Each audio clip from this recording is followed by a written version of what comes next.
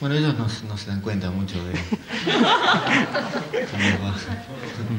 ¿Y, vos estás conforme con esos trabajos? Estoy, estoy conforme, estoy conforme con, con la mayoría, no, con- no con todos. Hay cosas que. ¿Todas las canciones que cantás en los discos son todas tuyas? ¿Música y letra? La mayor parte.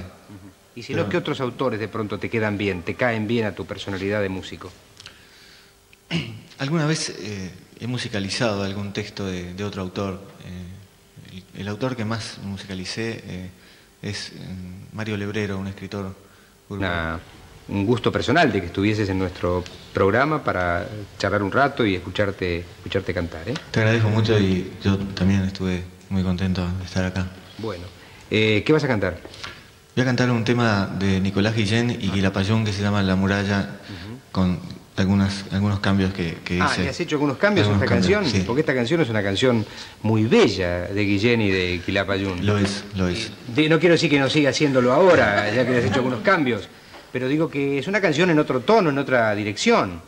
Claro, sí, es una canción eh, bastante representativa de cierto tipo de, de- de sentir de una época que, que yo en esta versión un poco modifico de acuerdo a quizá puntos de vista que, que surgieron después. la libre o no. interpretación, Sí, sí, sí, sí. No has pedido permiso a los autores ni nada. No, no porque además, este, digamos, respeto la- totalmente la autoría de ellos en cuanto a lo que concierne al registro del tema y todo Bien, eso. muy bien. No has robado nada, quiero decir. No.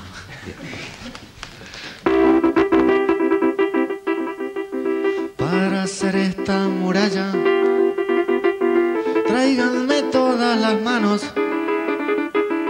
Tráiganme todas las manos, los negros sus manos marrones con palmas claras, los blancos sus manos que no sé muy bien de qué color son.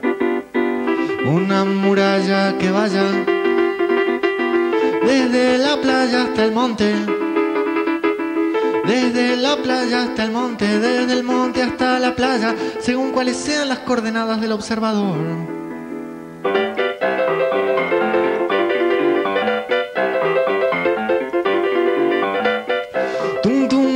Es la paloma y el laurel? Abre la muralla, tum tum, ¿quién es el sable del coronel?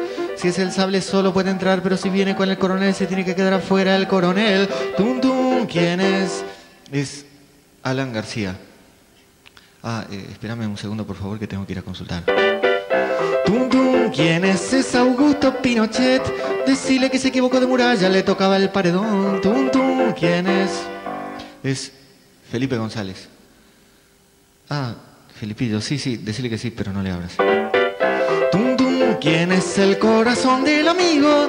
Hacelo pasar, pero trata de que no chorre sangre por el piso y decirle que espere en el banco de donantes. Tum tum, ¿quién es? Es un albañil. Se queja de que nunca le dan tiempo para que se seque el cemento de la muralla y pregunta si para salir y entrar no podrían mejor usar la puerta. Tum tum, ¿quién es? Caperucita Roja, ¿estás seguro? Sí, bueno, abrí la muralla. Tum tum, ¿quién es? Creo que el lobo feroz cierra la muralla. Tum tum, ¿quién es? No sé, pero viene cantando una canción de Pablo Milanés. Abre la muralla. Tum tum, ¿quién es? No sé quién es, es un tipo que viene con un acorde medio raro, no sé qué hacer, si dejarlo entrar o no. Y bueno, hacele un test. Pregúntale, por ejemplo, si él, entre una cosa buena y una cosa mala, elegiría la cosa buena o la cosa mala. Si te dice la cosa mala, no lo dejes entrar porque debe ser un aliado del imperialismo. Si te dice la cosa buena, déjalo entrar porque evidentemente es un compañero. Es eso.